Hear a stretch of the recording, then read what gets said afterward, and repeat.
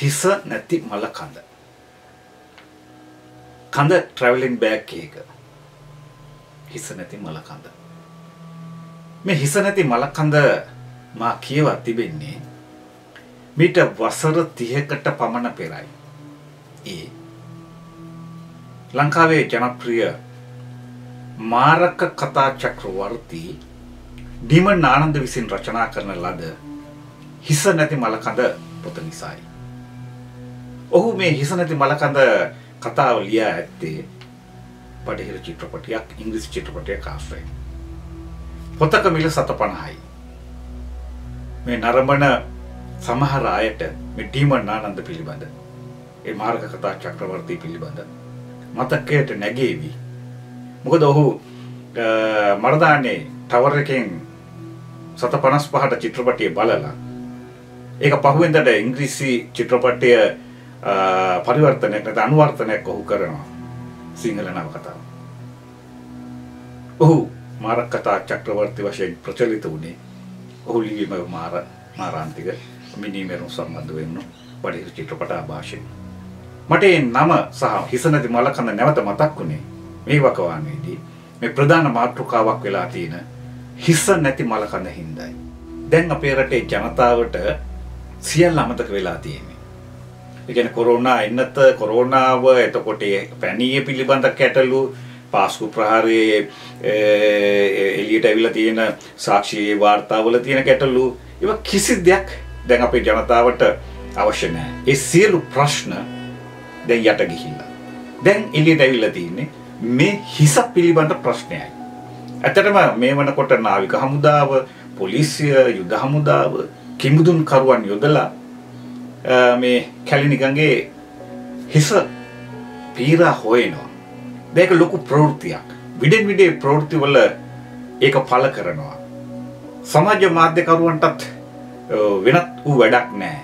ඔවුන් හිස හොයමින් මේ අවස්ථාවේදී පුදුම විදිහට රහස්පර්ශකවරුන් බවට පත් වෙලා ඔවුන් මේ නැති වුණු හිස පිළිබඳව සොයන්නට පටන් අරන්. කොටිම කියනවා නම් මීඩියා කරුවන් ඒ මාධ්‍යවල අයට මේ දිනවල වැඩ වැඩි.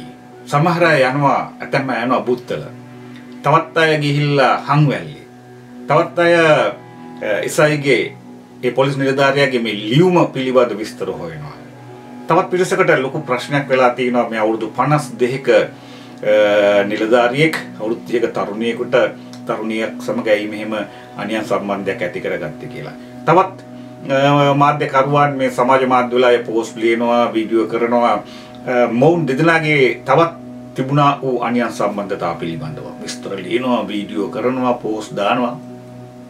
ඇත්තටම මේ වෙනකොට අපේ රටේ මේ මාධ්‍යකරුවන්ට නිහඬව ඉන්නට මොහොතක්වත් නැහැ. හදිස්සියේවත් බැරි වෙලා හරි නිින්ද ගියොත් නැකිට ගමන් කෝල් කරලා අහන්නේ හිස හම්බුණාද?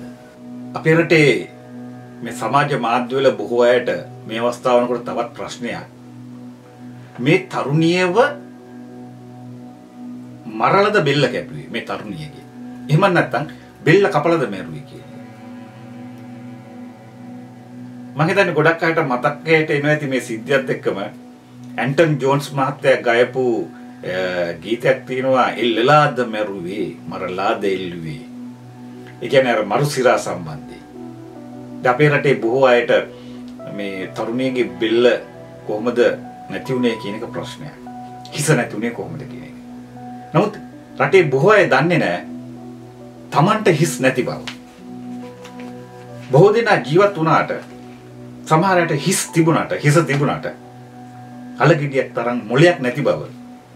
මේ අවස්ථාවේදී මේ මාධ්‍ය භාවිතාව ගැන හිතනකොට දකිනකොට නොකියම ඉන්නට බෑ. බොහෝ මිනිසුන් බොහෝ මාධ්‍යකරුවන් හිස් වූ මිනිසුන් බව ඇත්තරම නොකිය බෑ.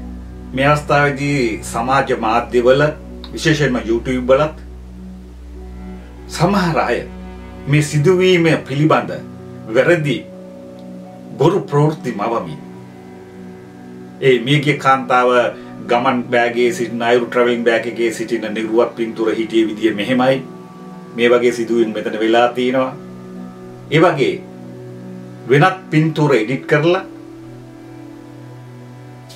වීඩියෝ පට හදලා මේ සිද්ධිය ගැන වෙනත් වූ තොරතුරු පළු කරමින් තමන්ගේ YouTube channel එක එහෙම නැත්නම් තමුන්ගේ වීවර්ස්ලා වැඩි කරගන්නට තමුන්ගේ channel එක YouTube channel එක ප්‍රොමෝට් කරගන්නට පහත් තත්ත්වයේ වීඩියෝ පට යොදමින් මාතෘකා හෙඩින් යොදමින් මේ වෙලාවේ ඉතාමත්ම ලැජ්ජාශීලී විදිහට මේ සමාජ මාධ්‍ය හැසිරෙනවා.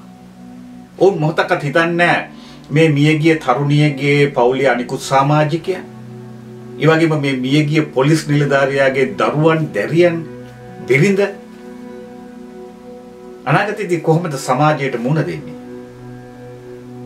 මේ වගේ දේවල් සමාජගත වුණාම ඇත්තටම නොකියාම බැරි කරුණ තමයි අබ ඇටයක මොලයක් මාධ්‍ය ගැන නොදන්නා YouTube සහ සමාජ මාධ්‍ය කරුවන් ඒ නීති රීති දරුණු ලෙස උල්ලංඝනය කරමින් මේ පුද්ගලයන්ගේ චරිත ඝාතනය කරනවා. Tamanගේ channel එක ප්‍රොමෝට් කරගන්න සිද්ධියට සම්බන්ධ නැති හෙඩින් දීලා ඒ වගේ කටයුතු කරනවා. ඇත්තරම මෙය ලැජ්ජා සහගත කරුණක් බව අනිවාර්යයෙන්ම කියන්නට ඕනේ. අවසාන වශයෙන් කියන්නට තියෙන්නේ හිස සොයා ඔබගේ වටිනා කාලය කාදමමින් අසත්‍ය පුවත් මේ සමාජයට සමාජ ජාලා ඔස්සේ බොහෝ දෙනා මුදාහරිනවා. ඔවුන් ඔවුන්ගේ හිස් ඔවුන් විසින්ම සිඳදාගෙන. ඇත්තනම මේ වනකොට සමාජයේ මුළුමහත් සමාජයේම හිස් ගසා දාලා තියෙන්නේ. ඒ රටේ දේශපාලකයන් දේශපාලකයන් ඔබගේ හිස් ගසා දමා තිබෙන්නේ. නමුත් ඔබට මේ වේදනාව තේරෙන්නේ නැහැ. ඒ වේදනාව ඔබට නොතේරෙන්නට ඔවුන් මේ රට පුරා Tamanගේ පාලන කාලය තුල නොඑක් ප්‍රවෘත්ති මවනවා. මේ හිස නැති මල කඳත් ඒ ප්‍රවෘත්ති වලට සම්බන්ධව ඒ වගේම බද්ධ වෙලා යන පොතක්. ඒ ධම්වැලේ පුරුකා. ඒ කාන්තාවගේ හිස සොයන එක පැත්තක තබා ඇත්තටම ඔබ ඔබට තිබෙන හිස ඔබගේ හිස පරිස්සම් කරගන්නට ඕන කාලයක් දැන් ඇවිල්ලා තියෙනවා කියන එක අවසාන වශයෙන් මට ඔබට කියන්නට තියෙනවා. ඔබගේ හිස පරිස්සම් කරගන්න.